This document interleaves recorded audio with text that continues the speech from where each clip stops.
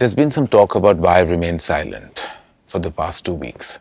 Today, I'd like to clarify that the reason why I remained silent is because of the deep sense of hurt and the deep sense of pain that I felt that a few people would actually believe that I'm being anti national. I need to say this, and I say this with strength that for me, my country comes first. Nothing else matters to me but my country. I've always felt that the best way to express your patriotism is to spread love, and that's all I've ever tried to do through my work and my cinema. When I shot my film Ae Dil Hai Mushkil in September to December last year, the climate was completely different. The circumstances were completely different. There were efforts made by our government for peaceful relationships with the neighboring country. And I respected those endeavors then, those efforts then.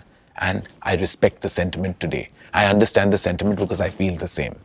Going forward, I would like to say that, of course, I will not engage with talent from the neighboring country given the circumstance.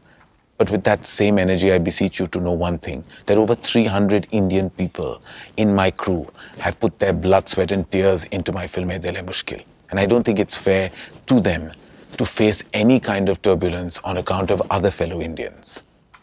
I respect the Indian Army. I salute the Indian Army for everything they do to protect us in our environment.